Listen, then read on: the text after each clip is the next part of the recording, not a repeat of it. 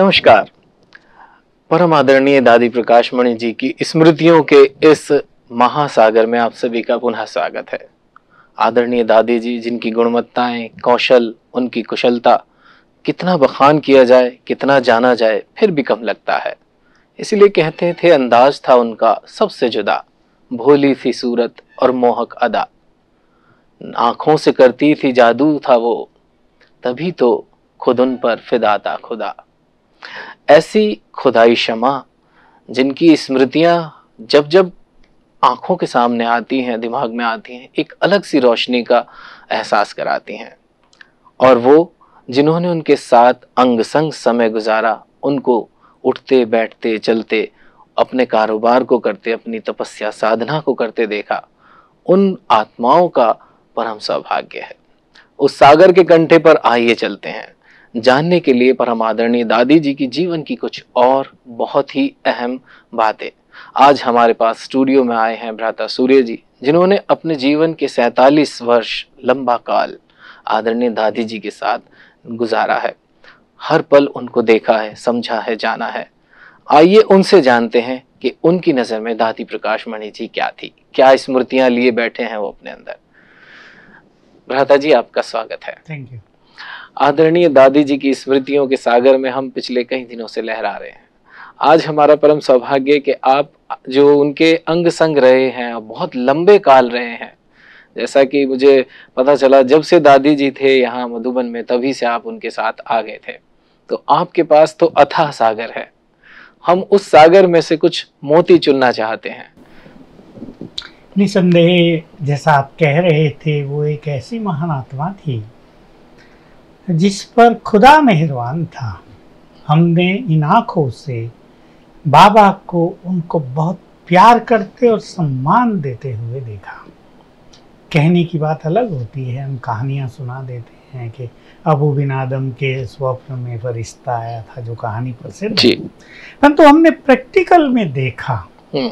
कि वो तो परमात्मा के लिए संपूर्ण रूप से डेडिकेटेड थे ही लेकिन जैसे भगवान उन पर कुर्बान था तो बहुत आकर्षित करती थी वो मुझे याद आ रहा था जब आप कह रहे थे तो जब हम यहाँ नहीं आए थे तो ज्ञान अमृत में एक बहुत सुंदर अंक छपा जिसमें हमारी सभी जो सीनियर दादी थी उनके बारे में उनकी क्वालिटीज का वर्णन था।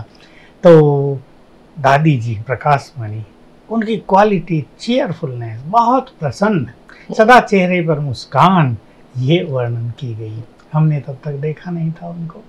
जब देखा तो पाया सचमुच वो कितनी लाइट है कितनी खुशनुमा है और उसको कभी ये तो फीलिंग ही नहीं कि मैं चीफ हूँ बल्कि ये फीलिंग कि ये मेरा परिवार है और मुझे इन्हें प्यार देना है तो मैं कुछ कहानियाँ सुनाऊँगा प्रैक्टिकल घटना कहानियाँ नहीं। तो मुझे सेवा मिली कुछ समय के बाद किचन में। अभी मैं तो खाना पीना बनाना जानता नहीं था। अच्छा। तो सिंधी भोजन हम्म, हम्म। कुछ गलतियाँ करे रोज और दादी आए हम्म। और हमें डर लगे दादी डांटेगी कुछ कहेगी। लेकिन ये वंडरफुल उनका स्वरूप था। हँसते हँसते हाँ सूर्य आज तो तुम ज़्यादा याद कर रहे थे बाबा को। ये चीज़ तो डालना भूल ही गए। अच्छा। देखो ऐसे करना चाहिए। हमने कभी जब हम बिल्कुल छोटे थे हाँ। और भूले करते थे किचन में कभी कुछ जला दिया कभी कुछ गिरा दिया कभी कुछ तोड़ फोड़ हो गई दादी जी कितना प्यार देती थी और वो चीज़ बहुत प्यार से हमें कहती थी कहने का तरीका यानी हमें शिक्षाएँ देने का तरीका अच्छी अच्छी बातें हमें सिखा दी भोजन के संबंध में हम इस बात से सचमुच बहुत हाँ। प्रभावित हुए दादी जी की दूसरी चीज़ जो मुझे बहुत आकर्षित करती रही और जिसने सचमुच मेरे जीवन में एक बहुत बड़ी उपलब्धि कराई और जिसको हम अध्यात्म में कहते हैं अतीन्द्रिय सुख। जी। एक अलौकिक सुख ईश्वरीय सुख। तो यूँ तो ये सुख योग से मिलता है और मनुष्य जब देहभान से मुक्त होता है सोल कॉन्शियस होता है तब वो अतीन्द्रिय सुखों की अनुभूति में चलता है। परंतु दादी का ईश्वरीय महावाक्य सुनाने का तरीका जिसको हम मुरली कहते हैं। दादी जी जब क्लास में आती थी और मुरली सुनाती थी तो ऐसा लगता था जैसे भगवान स्वयं हमसे बातें कर रहा है। वो पढ़ रही है ये नहीं। डीप फीलिंग में ले चलती थी हमें उसी तरफ़। तो ये बहुत ही एक सुंदर बात थी। इस मुरली के समय एक घंटा रोज मुझे ईश्वरीय सुख का बहुत गहरा आभास रहा और उसका कारण था दादी जी के श्रेष्ठ वाइब्रेशंस और उनका पढ़ने का तरीका। वो सारी क्लास को ऐसा आनंद विभोर कर देती थी उस टाइम चाहे सामने 200 हैं 500 हैं या दस हज़ार बीस हज़ार हैं कि लोग जैसे एकाग्र चित्त हो जाते थे उनकी बातें सुनकर बोलने उनके मुख से सुनकर। ये मेरे जीवन की मैं समझता हूँ बहुत बड़ी उपलब्धि रही और जब से वो गई मैं सच कहूँ तो मैंने इस चीज़ को मिस किया। तो खैर लंबा काल हम्म। इस ईश्वरीय सुख को चखा है इसलिए मिस जैसी तो कोई बात नहीं। विशेष बात दादी किचन में जब हम शुरू शुरू में थे छोटे थे कुछ हमको आता नहीं था किचन का नेक्स्ट डोर दादी का रूम था। अच्छा। चाय पीने वहीं आ जाती थी आप ही अपना हम्म। गिलास लिए हुए थर्मस है चाय ली वहीं बैठ के पी रही है। किचन तो हमारे बड़े बड़े छोटे तो नहीं जैसे घरेलू होते हैं। तो शुरू शुरू में तो हमें ऐसा। छोटे थे ना वो दादी और डर लगता chief of Brahma Kumari chief of Brahma Kumari लेकिन फिर हमने देखा दादी। सो स्वीट तो हम जस्ट उनकी उपस्थिति को एंजॉय करने लगे। और एक चीज़ विशेष रूप से नोट की मैंने कि जब वो हमारे पास आ जाती थी और आती थी दादी शुरू में पाँच बार एक दिन में आती थी। फिर थोड़ा किचन बड़ा किया थोड़ा दूर हो गया एक का कारोबार बढ़ गया तो तीन बार आने लगी। मान लो कॉन्फ्रेंस हो रही और तीन हज़ार का भोजन बन रहा है तो दादी एक बार दिन में एक बार शाम को देखने ज़रूर आती थी। हाँ भाई सब ठीक चल रहा है। तो मैं जो बात कह रहा था वो ये थी कि उनका आना और माहौल खुशी से भर जाना। जैसे सब काम करने वालों में एक नई एनर्जी का उत्पन्न हो जाना ये बहुत बड़ी चीज़ थी नहीं तो कहीं जब कोई भी चीफ पहुँचता है मान लो किसी कंपनी का डायरेक्टर या मैनेजिंग डायरेक्टर चक्कर लगा रहा सब डरे डरे ओह सर आ रहे हैं वही चीज़ मुझे ख्याल में आ रही थी हाँ। कि। जैसे चीफ थे दादी हाँ। जी और उन, आमतौर पे समझा जाता है कि थोड़ा भाई अपने साथ काम करने वालों से थोड़ा सा ऐसे रहो जिससे कि वो काम ठीक ठाक करें। तो लोग जब दादी इतना लाइट हो जाती थी तो उनके साथ वाले हल्का नहीं लेते थे क्या? नहीं एक्चुअली इतना प्यार रहता था दादी जी से। देखो, मेरा पर्सनल अनुभव ये था कि मुझे दादी जी को देखकर ये लगता था कि ये महान आत्मा सारे इस महान यज्ञ को संभालती है। और नो डाउट किचन मतलब फ़ूड डिपार्टमेंट भोजन एक बहुत बड़ी व्यवस्था होती है कहीं बिल्कुल। जिसमें दो चार लोग नहीं पच्चीस तीस हज़ार लोग भी भोजन कर रहे हैं। तो मुझे ये रहता था कि उन्होंने हमें ये रेस्पॉन्सिबिलिटी दी है तो हम उन्हें बिल्कुल निश्चिंत रखें। ताकि उन्हें पता है कि मैं वहाँ हूँ तो दे आर केयर फ्री निश्चिंत बिल्कुल कोई चिंता नहीं। सब काम परफेक्टली एक्यूरेटली बहुत अच्छी तरह से संपन्न हो जाएगा। तो उनका प्यार और उनकी इस तरह की जो हमारे प्रति एटीट्यूड्स थे और जो वो खुशी का माहौल पैदा करती थी ये हमारे मन में गहरी ज़िम्मेदारी की भावना को जागृत कर देती थी। तो ये एक बहुत सुंदर चीज़ मैंने उनके पास देखी अ, हमें मुझे एक बात और याद आ रही थी। हमें सब दादी बहुत बिज़ी रहती थी। हमें तो मिलने जाना ही होता था। शुरू में दादी आठ से दस पत्र लिखती थी। तो कभी मान लो नौ बजे हमें काम हुआ दादी से और हम जाके बाहर बैठे। दादी देखती था अच्छा सूर्य आया? आओ आओ आओ। और फिर हमें कह दिया कि भले ही मैं पत्र लिख रही हूँ तुम्हें कुछ भी काम हुआ करे तो तुम आ जाया करो बीच में। मैं बता दूँगी जो कुछ भी है।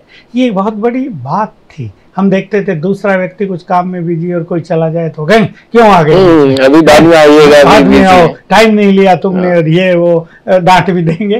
दादी नहीं नहीं आओ आओ सूरी हमेशा आओ कुछ काम है। यानी हम बैठे ही हैं हम देख नहीं रहे हाँ। उनकी ओर हम सोच रहे दादी काम में बिज़ी डिस्टर्ब क्यों किया? दादी आओ आओ क्या काम है बोलो। ये एक बहुत बड़ा अपनापन था जिसके कारण दादी ने सबके दिलों को जीत लिया था। और ये एक ऐसी चीज़ है कि जो व्यक्ति सबके दिलों पर राज करने लगे उसके लिए सब कुर्बान हो जाते हैं। सही। तो हम सबके मन में रहता था कि हम ऐसा अपना कार्य करें कि दादी बिल्कुल निश्चिंत रहे। उनको कम से कम हमारे कार्यों की ओर से कुछ सोचना ना पड़ेगा टेंशन की तो बात ही नहीं। ये बहुत बड़ी चीज़ हमने सीखी। एक व्यक्तिगत बहुत सुंदर अनुभव मेरे पास उनके लिए है। जी। बड़ी बड़ी बातें तो हम्म। बहुत लोगों ने की होंगी। जी। मैं कुछ ऐसी चीज़ कहता हूँ जो किसी महान व्यक्ति की और एक सफल प्रशासक की या एक महान नेता की एक क्वालिटी होनी चाहिए कि वो जब देखती थी कि इस व्यक्ति में ये योग्यता है तो उसे यूज़ करना हम्म, वो अच्छी तरह जानती थी। उसको ये नहीं होता था ये व्यक्ति छोटा अब हम तो छोटे थे बहुत ये व्यक्ति बहुत अच्छा बोलने लगा है ये क्लास दी उन्होंने हमें नाम हो गया सब दादी के पास पहुँच गए हाँ दादी वाह वाह वाह ऐसी क्लास होनी चाहिए। उनको ये नहीं होता था ये छोटा आगे बढ़ गया। हम्म, हम्म, वो कहती थी तुम सब आगे बढ़ो मेरा दिल ठरे। कोई आगे बढ़े मेरा दिल ठरे माना ठंडा हो हम्म, तो उनको ऐसा होता था जैसे ये हमारा परिवार है और इसमें जितनी योग्य आत्माएँ होंगी जितने अच्छे स्पीकर होंगे जितने अच्छे कार्य संभालने वाले होंगे जितने अच्छे गुणवान और कलाओं से संपन्न लोग होंगे ये हमारे इस महान दैवी परिवार की शोभा होगी। तो सबको आगे बढ़ाना सबके गुणों को अप्रिशिएट करना बहुत बड़ी क्वालिटी थी। मुझे याद है। मुझे उन्होंने रात्रि क्लास की ज़िम्मेदारी दी थी कभी बात शायद एट्टी फोर की है। और जैसे ही मैं क्लास कराने गया तो सबसे पहले दादी आ बैठी। अरे। सामने के सोफे पे दादी बैठी है और क्लास मुझे करानी है। तो हम्म। मनुष्य नेचुरल थोड़ा हिचकता है लेकिन दादी ने कहा नहीं कराओ तुम कराइए। कराओ दादी भी सुनेगी तुम्हारी क्लास। तो मैं देखता था कि छोटों को आगे बढ़ाना कितनी बड़ी क्वालिटी उनके अंदर थी। दूसरों की योग्यताओं को सम्मान देना उनको विकसित करना मैं समझता हूँ ये एक अनुपमता अलौकिकता उनके जीवन में थी। मुझे कुछ एक बहुत बड़ी चीज़ भी कहनी है जो मुझे आज मेरे मानस पटल पर उभर कर आ रही थी बार बार हमारे यहाँ दादी जी ने महामंडलेश्वरों के सन्यासी और गुरुओं के बहुत अच्छे सम्मेलन आयोजित किए। सबके दिल को वो बहुत जीत लेती थी। सबसे पहले हमारे पास आए थे स्वामी प्रकाशानंद महामंडलेश्वर महामंडलेश्वर। प्रसिद्ध थे तत्कालीन वो और थोड़ा उनको विरोध भी था कि भाई ब्रह्मा कुमारियों के सिद्धांत वेदों शास्त्रों से थोड़े भिन्न हैं वो देखने आ गए अचानक आ गए शाम के हम्म। टाइम अपने शिष्य के साथ और कहा मैं प्रकाशानंद और बहुत बार मुझे कहा आने के लिए मैं आ गया दादी जी ने वेलकम किया अगले दिन सवेरे जब उनको क्लास में बुलाया कि आइए कुछ प्रवचन कीजिए, हमारी सभा बैठी है, ओम शांति भवन, हमारा बड़ा हॉल है। तो उन्होंने आते ही क्या कहा कि भाई मैं तो ब्रह्मा कुमारी के बिल्कुल विरोध में था। रात जब आप सब सो गए थे, मैं आपके आश्रम की गलियों में अकेला घूमा और मैंने जिस शांति का यहाँ अनुभव किया, वो शांति तो देवताओं को भी अप्राप्त है। हम सब तो सन्न रह गए।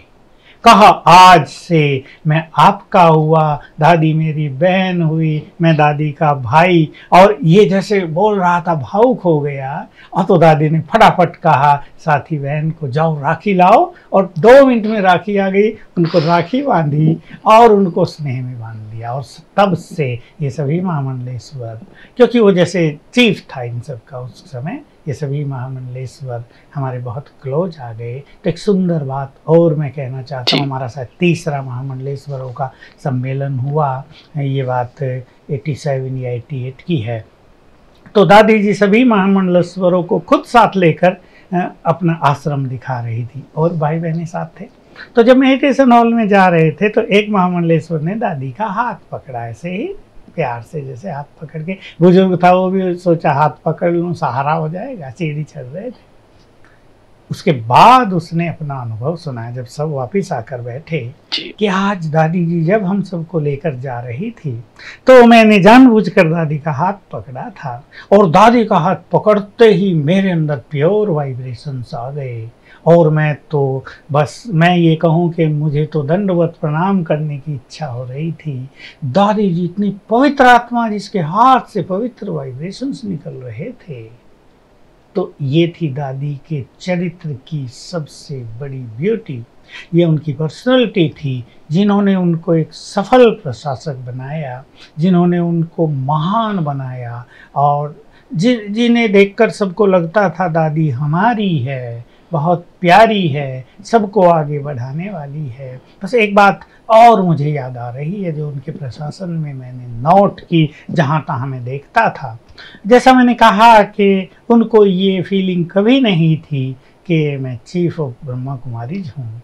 जबकि उनका नाम था कितने मेडल उनको मिले थे डॉक्टरेट की उपाधि मिली थी। लेकिन उनको सदा रहता था ये सब तो ऊपर से हो रहा है। हम तो उसकी कठपुतलियाँ हैं। एक बहुत ज़्यादा समर्पण भाव एक बहुत ज़्यादा निमित्त भाव उनके अंदर था। लेकिन उनके प्रशासन में ये था कि मैं इस परिवार की चीफ हूँ, बड़ी हूँ परिवार की। जैसे किसी परिवार में बारह पंद्रह लोग हों और एक व्यक्ति बड़ा हो। अब उस व्यक्ति पे डिपेंड करेगा उनका परिवार कैसा चलता है। उसमें प्यार रहता है या टकराव होता है, उसमें स्वार्थ बढ़ता है या लोगों में भिन्न भिन्न तरह की भावनाएँ होती हैं लोग लालच बढ़ जाता है। तो दादी जी में क्या था? सबको संतुष्ट करना है।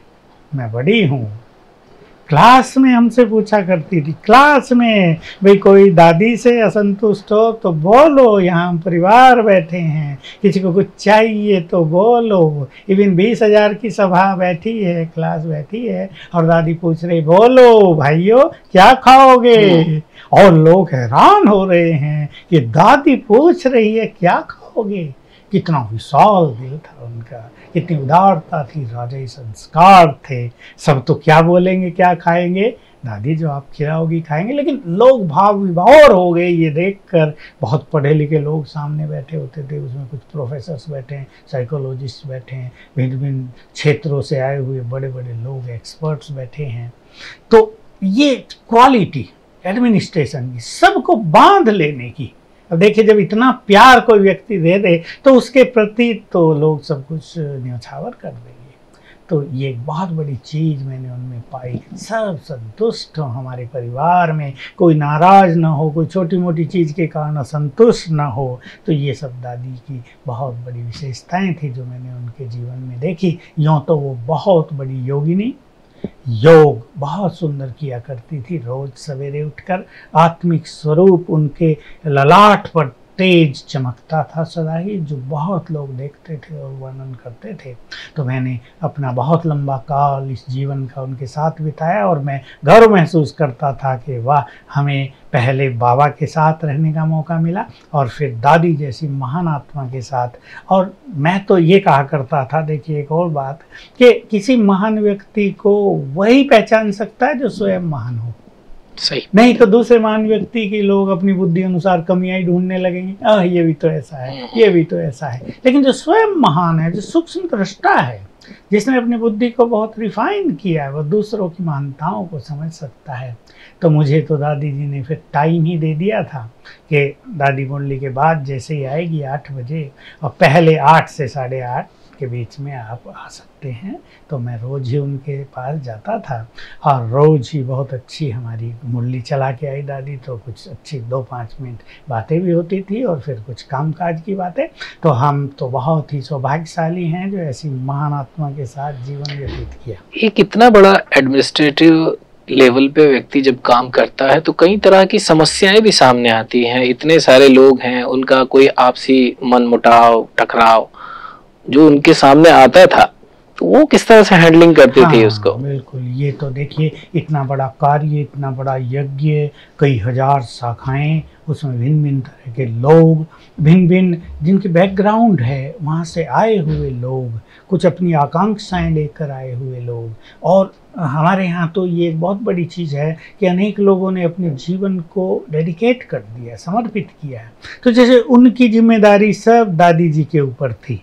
चीफ होने के नाते वो जैसे उनकी गार्जियन हो गई उन सब का ख्याल रखना उन्हें होता ही था। तो उसमें कई तरह के लोग होने के कारण कई तरह की बातें कई तरह की समस्याएँ निश्चित रूप से आती थी। हम ये नहीं कहेंगे कि एक बहुत बड़ा कार्य निर्विघ्न चलता रहता है उसमें कोई समस्या नहीं आती। दादी जी एक तो बहुत सरल स्वभाव होने के कारण सब बातों को सरलता से हल करती थी। सबकी बातें सुनती थी। फिर ठीक निर्णय पर पहुँचती थी। और क्योंकि उनके पास ज्ञान और ईश्वरीय जो योग अभ्यास है, हमारा राजयोग, उसका बहुत ज़्यादा बल था। उनका ये लक्ष्य होता था किसी के प्रति अन्याय न हो जाए और सब संतुष्ट हो निर्णय से। यद्यपि वो जानती हैं कि निर्णय एक के फेवर में जाएगा, दूसरा व्यक्ति असंतुष्ट होगा। चाहे उसका दोष भी हो, फिर भी वो सुनना चाहता है कि मेरे फेवर में कुछ आ जाए। फिर भी उसको भी वो इतना प्यार देती थी और ऐसा मोटिवेट करती थी कि तुम्हें भी चेंज होना है। और यज्ञ में जब बाहरी तरफ़ से बहुत ज़्यादा बाधाएँ आती थी कुछ ऐसे तत्व होते हैं संसार में जो किसी भी अच्छे कार्य का विरोध करते हैं। कुछ स्वार्थ उनके बीच में आ जाता है अपने स्वार्थ को पूरा न होते देख वो समस्याएँ पैदा करने लगते हैं ग्लानी करने लगते हैं। दादी जी बहुत धैर्यवत रहती थी और सदा कहती थी ये सब ठीक हो जाएगा। रात रात साथ योग की साधनाएँ करवा देती थी पूरे ग्रुप से। और दो चार बार ऐसी साधनाएँ कराने पर हम देखते थे कि वो समस्या समाप्त हो जाती थी। तो बहुत बोल्डली बहुत अपने शिव बाबा पर विश्वास रखते हुए और धैर्यवत होकर, सबका ख्याल रखते हुए वो समस्याओं का समाधान करती थी। इसलिए उनमें, उनको सबका सहयोग भी मिलता था। समाज का कोई ऐसा व्यक्ति, कोई ऐसा तबका जो उनके सामने प्रत्यक्ष आकर के विरोध का स्वर ऊँचा उठाया हो, फिर दादी जी ने उसको, किस तरह से हैंडलिंग किया? कोई ऐसा एक्सपीरियंस आपके देखिए, प्रत्यक्ष तो नहीं आया, पर मुझे याद है सेवेंटी थ्री में दिल्ली में हम लोगों का जब सबसे पहला बड़ा प्रोग्राम हुआ ऑल इंडिया लेवल का तो आर्य समाज के अध्यक्ष सारे भारत के राज गोपाल साल वाला कहते थे उन्हें। साल। वाले के नाम से उपस्थित थे। आते ही नहीं थे उनको बहुत निमंत्रण भिजवाए दादी ने। मतलब वो लोग ब्रह्मा कुमारी के एकदम अपोजिट हुआ करते थे। नाम भी नहीं सुनना। चाहते थे। लेकिन दादी की शुभ भावना है नहीं इन्हें बुलाओ। ये देखे तो सही कि जिसको आप अपोज कर रहे हो वो आखिर हैं क्या? तो बहुत बुलाने के बाद भी नहीं आए। फिर दादी ने बहनों का एक ग्रुप भेजा सौगाते लेकर टोली लेकर। और उनको निमंत्रण दिया और वो क्योंकि बुद्धिमान व्यक्ति थे बड़े थे देखा भाई ये बहनें हैं इतना सम्मान दे रही हैं तो वो आ गए। और फिर उन्होंने सारा कुछ देखा घंटों वो हमारे बीच में रहे और फिर वो बिल्कुल ठीक हुए उनकी भावनाएँ बदल गई। तो ये एक ऐसी चीज़ हमने देखी थी कि ऐसे व्यक्ति जो बिल्कुल उन्हें अपना शत्रु भी मानते थे ऐसा समझ लें आप हम्म, हम्म। तो उनको भी प्यार और सद्भावनाएँ देकर बिल्कुल ठीक किया। मतलब जिसको हम भक्ति मार्ग में एक सुनते हैं संतोषी माता हाँ। वो दादी का व्यक्तित्व था वो व्यक्तित्व आपने अपने जीवन में इतने वर्षों में महसूस किया कोई ऐसी बात भाई साहब जो आपको ये कहती हो कि दादी मेरी है इस बात से मैं जब भी इसको ख्याल में लाऊं या मेरे दिमाग में आ जाए तो मेरे रोम खड़े हो जाते हैं वो एक ऐसा काल जिसमें बस मुझे ये लगे कि ये मेरी माँ है हाँ हमारे लिए उन्होंने अपने द्वार इस तरह ओपन रखे थे कि जब हमें किस चीज़ की ज़रूरत हो, जब हमारे पास कोई व्यक्तिगत जीवन में भी समस्या आ जाए तो वो हमारी है, हम सीधे जा सकते थे। ये मतलब अनेक अनुभव हो गए थे जीवन में, और ये सभी बहनों के भी अनुभव हो गए थे। दादी सभी छोटी कन्याएँ जो अपना जीवन समर्पित होती थी, उन्हें ये कह के भेजती थी कि, दादी तुम्हारे साथ है, कभी भी कुछ हो जाए तो दादी के पास चले आना। दादी तुम्हारी माँ है। तो हम लोग भी ऐसा ही मान लो कोई तबीयत ख़राब हो गई, हमें कोई विशेष फैसिलिटी चाहिए, हमें चेकअप के लिए कहीं बाहर जाना है, हमारी बीमारी बहुत बढ़ती जा रही है। तो हम सीधे दादी के पास चल जाते भाई मेडिकल वाले डिपार्टमेंट वाले साथ नहीं दे रहे, दादी तो हमारी है, वो हमारी सुनेगी। और हम उनके पास चले जाते थे। मैं ही नहीं, ये अनुभव बहुतों के थे और वो सबकी बात सुनती थी। और उन्हें प्रॉपर समाधान देती थी। उन्हें बुला के कहती थी कि नहीं, इसको बॉम्बे भेजना है। इसकी तबीयत ऐसी ख़राब है, सारा चेकअप होना है, या इसकी तबीयत के लिए इन्हें अब इस तरह के फल चाहिए, उसका इंतज़ाम करो। मक्खन चाहिए, उस समय बाबा ने ये शुरू कराया हुआ था कि कोई बीमार हो, मक्खन खिलाओ। हाँ भाई, इसको पंद्रह दिन के लिए इस तरह मक्खन खिलाया जाए। तो दादी में बहुत ही ज़्यादा था, जिसके कारण सबको लगता था, दादी हमारी है, और हम आराम से बिना हिचक के उनके पास चले जाते थे। तब में और अब में। अब जब दादी जी की स्मृतियाँ हमारे पास शेष हैं तो किस तरह से मिस करते हैं? एक अच्छी बात आपने पूछ ली है। क्योंकि अभी दादी जान की हमारे बीच में हैं, जो चीफ हैं लेकिन वो क्या बहुत बुज़ुर्ग हैं? सौ साल उनकी आयु हो गई है तबीयत भी उनकी काफ़ी ढीली ढाली रही है। फिर वो सदा यहाँ रह भी नहीं पाती क्लाइमेट सूट नहीं करता है बाहर आती जाती रहती हैं।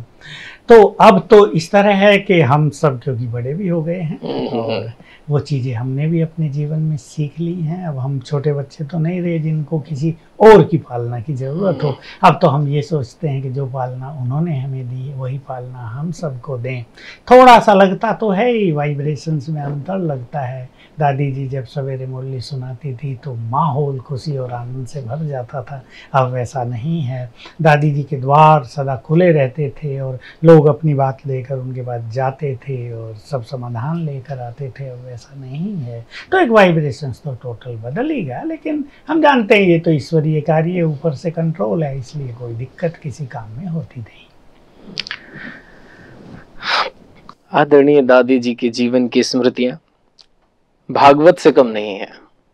गीता भागवत का हम जब कहीं सुनते हैं, श्रवण होता है और सुनने वाले पहुँच जाते हैं तो ये कहते हैं कि जैसे हम वहाँ पहुँच गए थे, हम महसूस कर रहे थे कि हम भगवान के साथ हैं और उसके संग में हम नाच रहे हैं, रास मना रहे हैं, गा रहे हैं, सुख पा रहे हैं।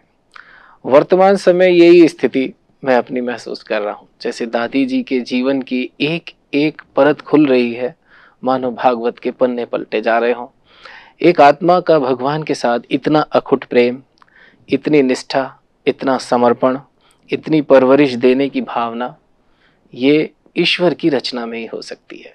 इसलिए ये कहावत शायद उनके ऊपर पूरी तरह चरित्रार्थ होती है कि तुझे देखकर जग वाले पर यकीन नहीं क्यों कर होगा, और जिसकी रचना इतनी सुंदर, वो कितना सुंदर होगा। दादी जी की स्मृतियों के इस महासागर में हम स्नान करते रहेंगे। आज के इस सुंदर से वक्तव्य में हम यही विराम लेते हैं। बहुत बहुत धन्यवाद करते हैं आदरणीय भ्राता सूर्य जी का, जो हमारे साथ आकर के आज इतने सुंदर हमारे साथ स्मृतियाँ साझा की हैं। धन्यवाद, नमस्कार।